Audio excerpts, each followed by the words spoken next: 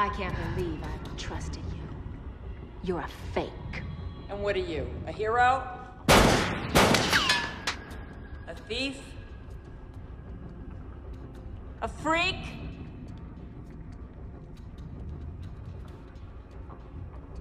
If you don't have an identity, why keep it a secret? Because you killed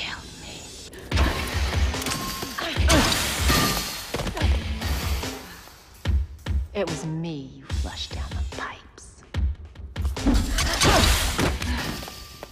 I'm Patience Philips. That's who's under there?